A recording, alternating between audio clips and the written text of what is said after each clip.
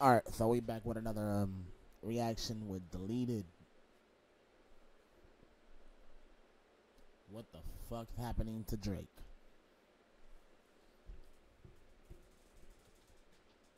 Uh, I hope you guys enjoy though, and um, yeah.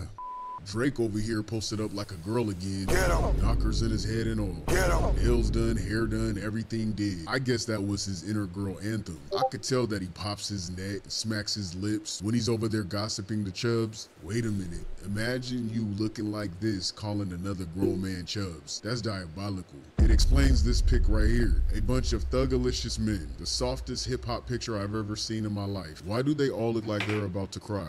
Boy, That nigga said Thugalicious um, from the Boondocks. Homie over hoe. and vibes. I feel like they're about to bust out and start singing. How do y'all expect me to take you seriously when your boss has eyeliner on? Y'all really gonna sit here and act like Drake won't cry and have venom nut smeared down his face? And you want me to take this? I'm gonna be real with y'all. Before y'all sit here and be like, "Well, damn, everybody jumping on this uh Kendrick, uh Kendrick, Drake hate train type shit." I'm gonna be real with y'all. Like at one point, I did vibe to Drake, and that was like in the early what 2012, I believe, or some shit.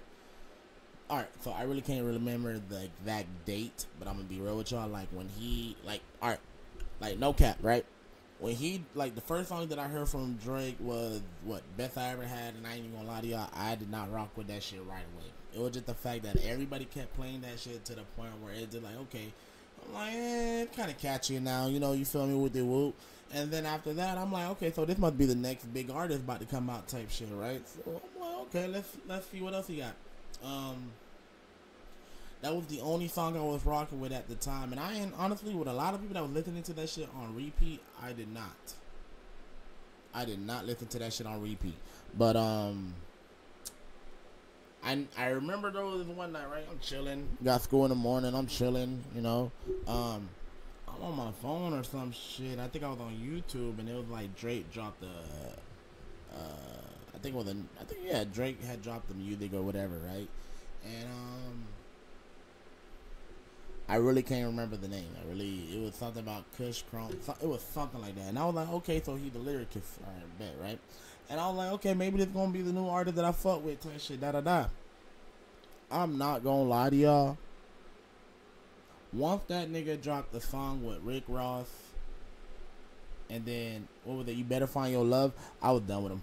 I ain't even gonna lie. I stopped listening to Drake after that, bro. Like the first song he made with Rick Ross, and then it was another song where he looked like he was just in a foreign country. Like I don't fucking know, but all I'm gonna tell y'all is I sort of had been stopped listening to his song, so I ain't never really cared that much. But just to hear all this allegation shit come out, it just to me it's hella funny because it's like, damn, bro, you ain't all that everybody thought you was. This pic seriously? Stop it. and I'm not gonna lie, right? So with me is if you were it, like if you a certain kind of artist, right? Like let's just say if you're a drill artist, you're a drill artist. If you're an R&B artist, you're an R&B artist. The shit that kept pissing me off with Drake, it was he was dipping and dabbing in every fucking uh shit, Jamaican, American shit. Thank God he ain't try to do no Haitian songs. But I'm just saying it was just like this nigga was just jumping from genre to genre to genre. And Lil Wayne probably did it, but Lil Wayne did it a little different where it, would, it benefited him. Drake, I see why, like I said, they was calling him the culture vulture. And is that Hello Kitty on your phone, bruh? Why is Hello Kitty on your phone case? Everything had to be extra feminine, didn't it? For what? Even the phone did a hair flip. Yep, I'm bullying in the phone too. It's up for everybody. Ever since bruh grew some inches in his hair, he wanted to be a part of the women. He used to sing to women, and now he became a real life female rapper. But for real though, what happened to Drake, man? Growing up, we used to mock his soft ass, his sensitive simp side. We used to all clown and say, hey, don't drink and Drake. You know, a spin to the saying, don't drink and drive. But we changed the meaning to don't drink and text your ex or your women like Drake would. We made fun of his softness he had for women, but we actually really enjoyed his music back then. He had a way to express how we really felt after a heartbreak or how we feel when we want to pick up the phone and check on our old fling or maybe what it was like when we were rejected by the baddie we all want. I'm not gonna lie, I never felt like that about Drake. There was not a time where I can go to a Drake song. It depends how I feel about whatever I'm going through in life. I'm like, yeah, I'm gonna throw on this Drake. Hell no, fuck no. Shit, you got a better chance doing that shit with Rod Wave and that nigga right there. Listen, you get you in your feelings a little bit about life, but Drake, Drake never gave me that that kind of feeling where like I'm feeling down or if I'm going through something like I'm gonna just throw on this Drake song. Hell no.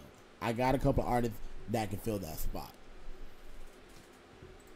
on it, although Drake would be a little extra than most men with expressing his emotions to women. All of us men had a little Drake in us at some point in our lives. Hey, hey, pause, pause, pause. Not like that. What I'm saying is we all been there where we wanted to hit up an ex or maybe felt sad over that one baddie who got away. Yeah, we took jabs at Drake because it was a friendly sig fest or roast session, depending on where you're from. We we call it sigging from where I'm from. But anyway, Drake never been for real zesty zesty. He was always just saw. So what happened? What what changed? I don't for real get pulled into this whole clone conspiracies about celebrities, but this is for real giving clone vibes. Bro doesn't even look like Drake anymore. Tilting his neck, poking his lips out like he's Zoolander. Bro, what are you doing for real? The Ozempic must also be a testosterone tranquilizer or something. Cause what in the actual fuck? What concerns me the most is that he continues to present himself as a gangster with a tough demeanor in his music. Yet his appearance resembles that of a teenage girl. Better yet, a teenage stud named Mookie. It just doesn't go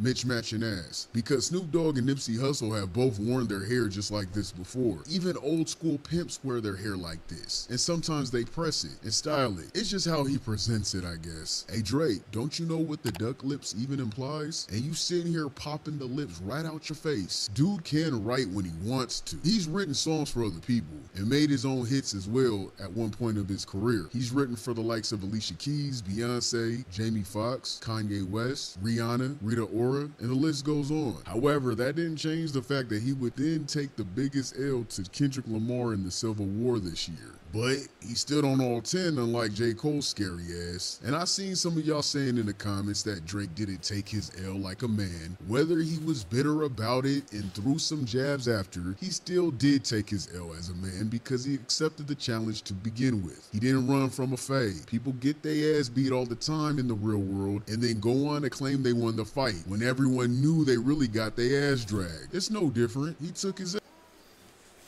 If like it's like a nigga getting his ass whooped, right? But he stay knocking out. Beat, beat, beat. And nigga, the nigga that's getting his ass whooped be the same nigga getting out talking about, you good? You good? Nigga, that is not your line. Your line your line should be like, alright, nigga, I'm done. I'm done. Like, you got it. You got it. Not talking like like you done Mayweather this motherfucker.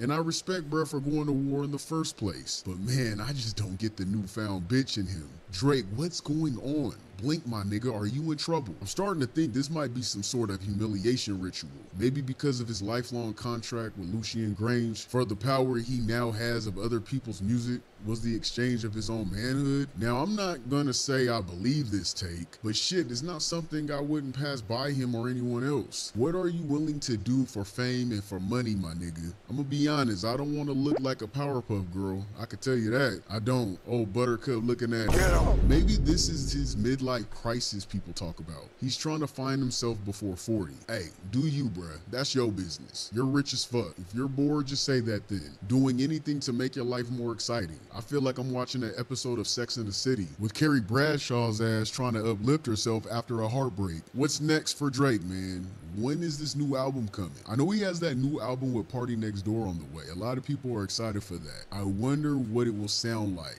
Rumor has it that it might drop on his birthday, October 24th. But there's also a rumor that the Boogeyman might also drop on October 24th. Everyone's saying that's how Kendrick's gonna keep trolling and keeping his foot on Drake's neck. He's gonna drop the album on his birthday. If he does that, that's so crazy. That's on some real villain shit, real demon time shit. If Kendrick does some shit like that, that's gonna be funny as hell. I ain't gonna hold. Wait, hold up. I'm gonna get off topic real quick. If both Kendrick Lamar and Drake end up dropping new albums, which one are you listening to first? Kendrick's next album is crucial. It will show whose music captures the most attention and drives the highest sales, offering insight into who holds the audience's interest. Beyond numbers, this release will determine if Kendrick can maintain the momentum and position he's carved out in the industry. While he's already secured major victories this year, some speculate that he might not be able to keep his dominant spot. This album will be the real test of whether Kendrick has truly won over the audience for the long run. Yeah, he won the war, but did he secure the people? I'm gonna be honest, this is my take, and y'all might not agree, but Kendrick needs to come out like old Kendrick, Rigamortus, Mad City, alright, humble,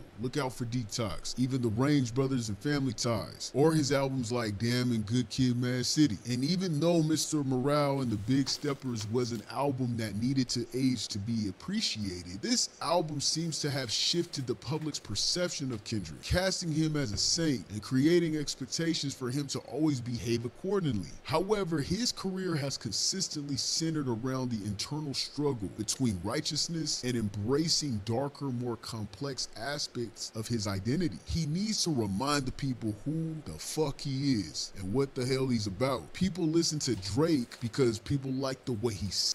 Let's be honest. Who? What the fuck is he about? He's from Toronto. Like, unless there's a lot of gangsters from Toronto, I'm not too familiar with. But last time I checked, half of the gangsters are from either Cali, uh, Chicago, New York, Florida, Georgia, like so on and so on. Like if you think about it, the gangsters are from the city that he literally went to go instill, a, like, basically went to go be a culture vulture in. Like, you feel me? Like, the man was from fucking the Degrassi, and I ain't never watched the fucking Degrassi. When this nigga came out, everybody was talking about the Degrassi. You know, like, what the fuck is that? I guess I didn't have cable back then. In reality, I really didn't have cable back then. So, hey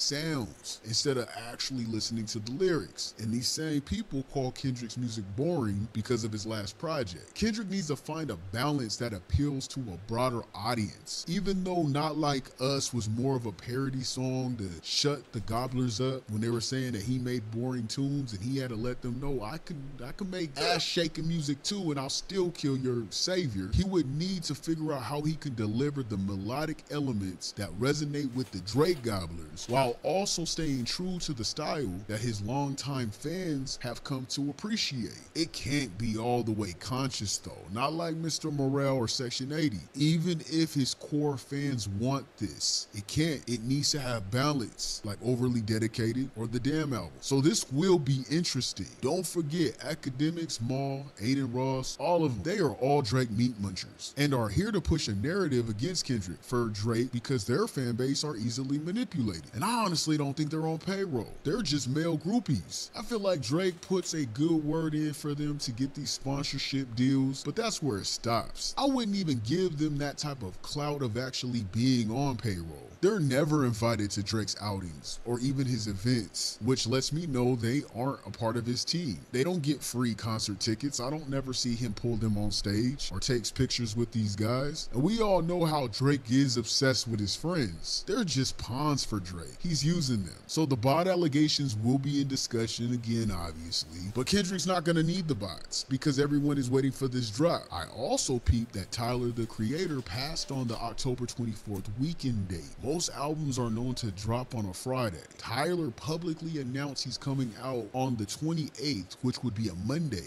to let whoever know that wants to drop Thursday the 24th or Friday that it's open for them to get their sales in. I'm gonna be honest with you. I predict that K Dot will drop on the 24th or sometime that weekend. SZA even recently posted on her story about Kendrick dropping, as well as Schoolboy Q. And I'm pretty sure this will be the way Kendrick keeps trolling Drake. Or I could just be wrong, and if so, fuck it. I thought that would be hilarious. Everyone is saying that this was a 20v1 battle, but was it? Yeah, Kendrick had all the rappers on his side, but Drake had the media and has had every big media streamer or rap commentator on his side spinning narratives and feeding the people the lies he wanted them to digest. Man, he even had fucking Uma Thurman asking bruh if he needed the Kill Bill outfit in Katana. The average white woman is going to see Uma fucking Thurman's cosign and think Drake won the battle. It's easy brainwashing. Let's be for real. Was it really 20v1? Cause I would call the shit a 50-50 split. Nigga, you ain't Jim Jones. Take them damn bollies out your hair. You look silly. This nigga for real thinks he's giving Pimp or Suga Free or Dru Down when he's really Uzi Vert mixed with Cleo from Set It Off. Now fuck that. Actually, Cleo harder than that nigga. Cleo went down like a thug. He too soft to be Cleo. And J. Cole is TT scary nah, ass running away. Don't want no smoke, but want to be recognized that he was mentioned. I do wonder what Drake's album will sound like. Hopefully he can redeem himself, but I doubt it if he's still dressing like a teenage tomboy. I have yet to see the man. You need to evolve, Drake. Show some type of growth. Your music hasn't evolved this entire time, mentally that is. For you to excel at storytelling in real life situations back then about experiences with women, you would think you would be able to do the same shit today, but in a grown man's perspective instead of the same 20 year old mindset. And then people wonder why he runs the numbers of streams. Because in a way, this dude is smart. People my age listen to his old shit for nostalgia, and people that are teens listen to him today because they can relate to his teenage perspective. He literally takes control of the airwaves, being able to make songs to feed every age bracket. But now he's slowly declining in numbers because after the Civil War, most of the adults that grew with Drake's music moved on from his same old song. So now he's finally seeing a slight decrease in numbers because he's only feeding the youth and the Drake gobblers who haven't grown up yet mentally. Hey, those stickers on your phone aren't helping with the allegations either. This nigga making me want to keep Meet the Grahams on repeat.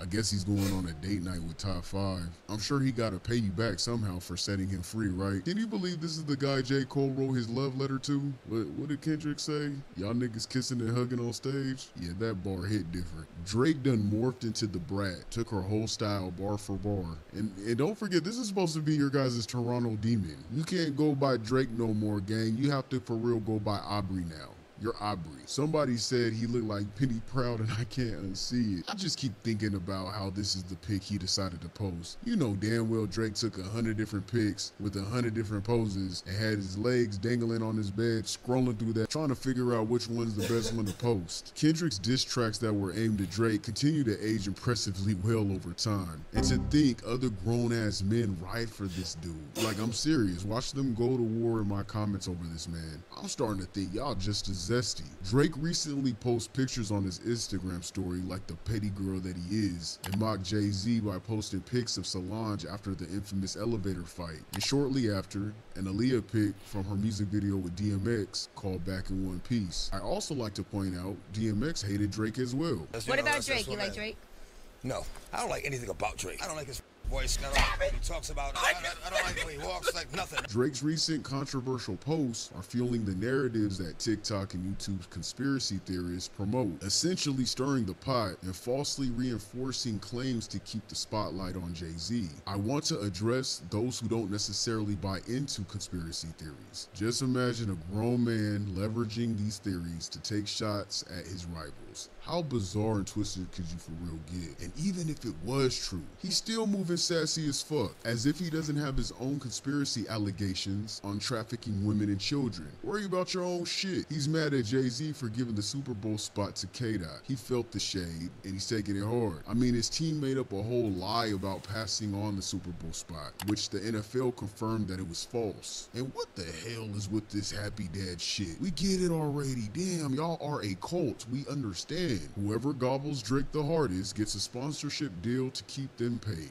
Get off y'all knees already. I guess Drake is y'all daddy for real, and he's happy, huh? Speaking of happy dad, I'm so sick of this dude. Can you stop gobbling Drake, please? Holding that flyer is giving obsession. For those who don't know, this is the flyer they claim where K. Dot beat Whitney at. It was already confirmed, the dates were mixed up. Kendrick performed on May 3rd and Diddy May 26th, which would have been Memorial Weekend. It's obvious the woman that they seen bloodied in the hotel was Cassie, and it was obvious it was Diddy that beat on Cassie. And they got it mixed up with Whitney for whatever reason. What's even more crazy is that people really believe this narrative when there's a whole ass picture of the couple rock climbing with their friends and family the very next day when this so called beating took place. If you don't take your ass back to your cave and keep counting niggas and songs, you a weirdo. With your mark ass. And also, why do you keep trying to shade Kendrick as the messiah of rap? Why are you acting like the messiah is who showed up to the Civil War? Because the boogeyman did.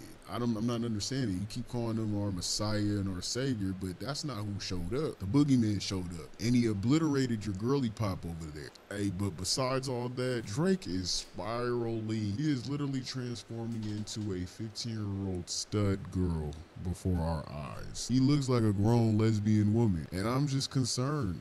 He don't even look like Drake anymore, and I'm not sure what the hell is going on. I'm I'm lost. He looks like he could be a clone, and I don't even believe in that shit. But hey, at this point, I wouldn't be surprised. They done clone Tyrone. But alright, man, I'm gonna catch y'all on the next one. Hit that like, subscribe, follow your boy on Twitch. And, um, one.